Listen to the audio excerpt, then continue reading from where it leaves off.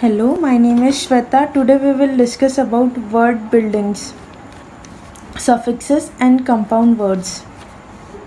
We can form nouns from adjective or verbs, adjectives from noun, verbs or adverbs, adverbs from adjective and so on. That is, we can interchange the parts of the speech. This is called word building.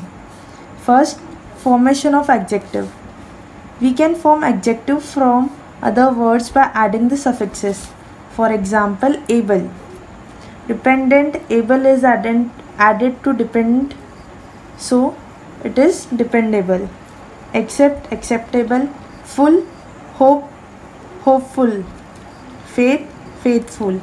Less harm harmless. Care careless. ing interest interesting bore boring. Second formation of nouns. We can form nouns from other words and even from other nouns by adding suffixes. Meant judge meant. Govern government. Tion act action. Describe description. Ness ugly ugliness bitter bitterness. The third is formation of adverbs.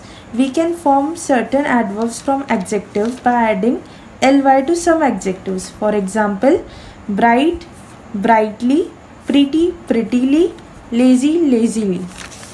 Fourth one is compound verb words. When two words are used together to do the work of a noun or an adjective, they are known as compound words. Compound words are formed by joining two words. Sometimes the word are written separately, sometimes they are treated as one. Sometimes a hyphen may be put between these two words. For example, chair plus man. It's chairman, one word, mouth plus water, mouth watering with hyphen. Thank you.